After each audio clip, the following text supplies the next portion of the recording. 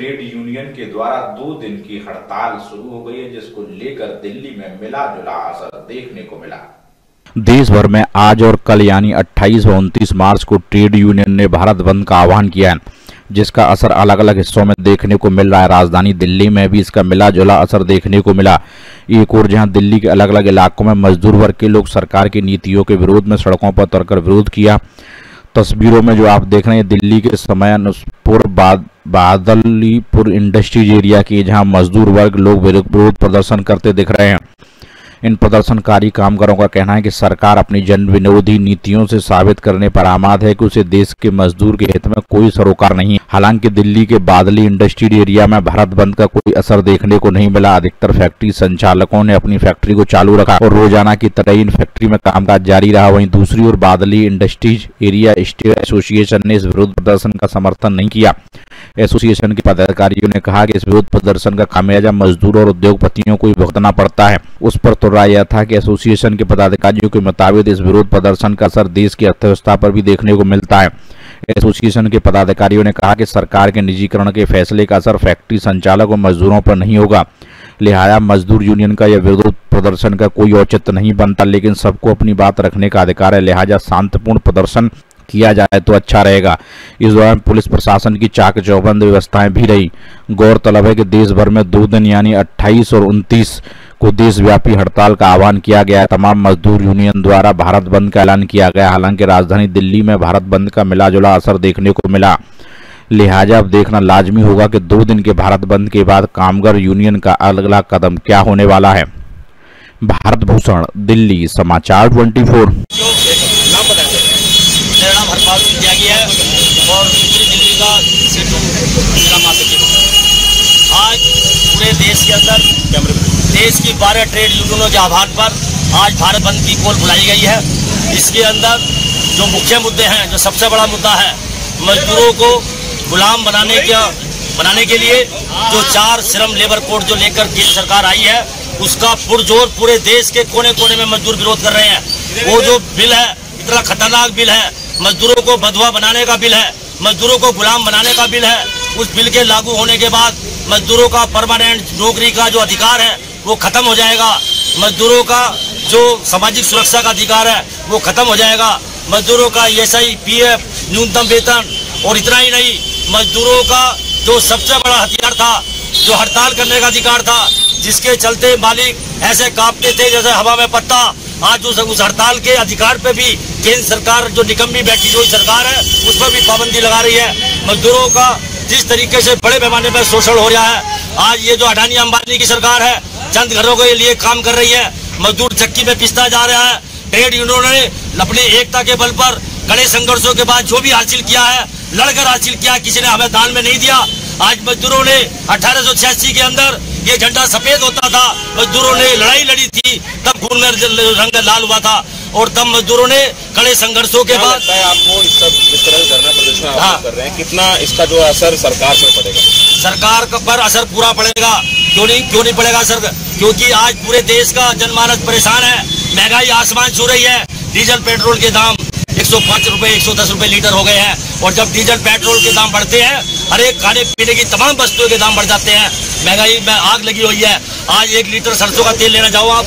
अब कब ढाई रुपए का अब कब कब ये इस तरह की जो कॉल है वो दी जाएँगी क्योंकि जिस तरह से देश के ट्रेड यूनियन फिर से बैठेंगे। दो दिन की हड़ताल के बाद अगर हमें आवश्यकता पड़ी तो चार दिन की भी हड़ताल करेंगे हफ़्ते की करेंगे। अगर नई सरकार मानती है तो ट्रेड यूनियन में फैसला लेंगे बार बार की लड़ाई लड़ने की मूड में है। एली सिंह की हड़ताल में जाएँगे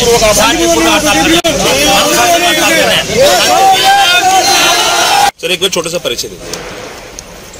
नमस्कार मेरा नाम रवि सूद है। मैं जनरल सेक्रेटरी हूँ बादली इंडस्ट्रियल एस्टेट एसोसिएशन में।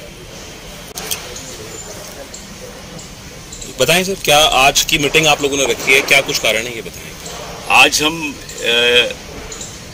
इस बात पे एकत्रित हुए हैं कि हमें सूचना मिली पिछले हफ़्ते कि यहाँ पे जो लेबर यूनियंस काम कर रही हैं उन्होंने दो दिन की हड़ताल की घोषणा की है। और उन्होंने एक हमें धम, धमकी भरा पत्र भेजा है कि फैक्ट्री मालिकों को आगाह करने की कोशिश की गई है उसके द्वारा कि आप लोग इन दो दिनों में 28 और 29 मार्च को अपनी फैक्ट्री बंद रखिए। अगर आपने फैक्ट्री चलाने की कोशिश की तो इसकी ज़िम्मेदारी फैक्ट्री मालिकों की होगी। ऐसा करके उन्होंने हमें पत्र लिखा।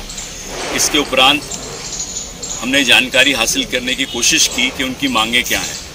तो हमने देखा कि उनकी किसी भी मांग से हमारे फैक्ट्रियों के मालिकों का कोई भी लेना देना नहीं है।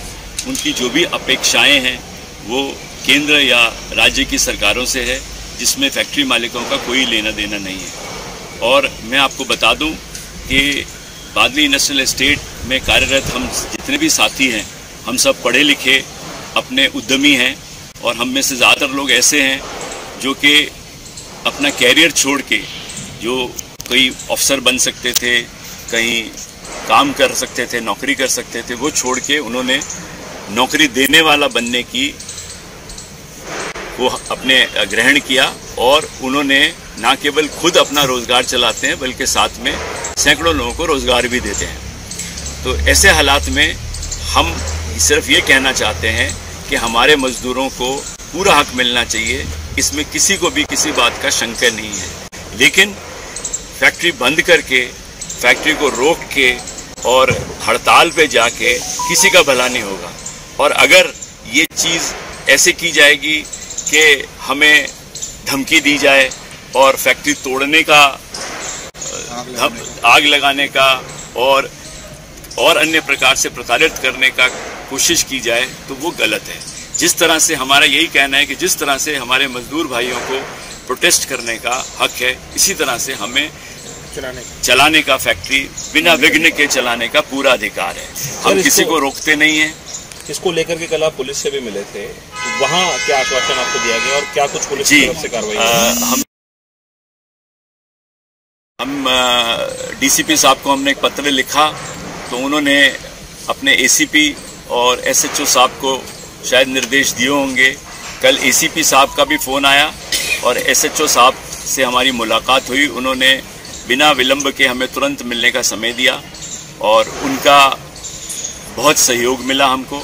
और इसी का नतीजा है कि आज कोई ऐसी, अभी तक ऐसी अनहोनी घटना नहीं हुई है।